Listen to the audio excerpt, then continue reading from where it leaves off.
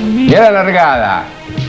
Bueno, acá estaba bastante frío, ¿eh? hacía un tornillo bastante interesante. La Largada. 405 de flaco traverso que pica en punta. ¿Sabés quién es el multicolor de la izquierda?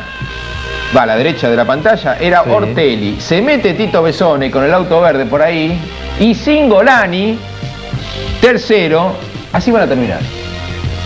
Eh, Toto Chegaray, la- ¿está por ahí? No, cuarto y Ortelli, quinto el Toto. Sexto el Gurí, que es ese otro escor. Ahora la cámara a bordo de Ortelli. Eh, fíjate el, el circuito, que si bien ha tenido alguna modificación importante para esta carrera de TC2000, ahí vemos a Sopelsa que se va contra la pared, Luisito Sopelsa. solo, ¿eh?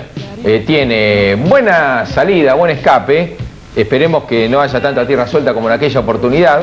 Y el toque de Lugurí Martínez con el Toto Chegaray, fíjate qué peligro, por dónde pasa el Toto, la gente parada ahí al costado. Ojalá esto no se repita, seguramente no va a haber gente paveando ahí.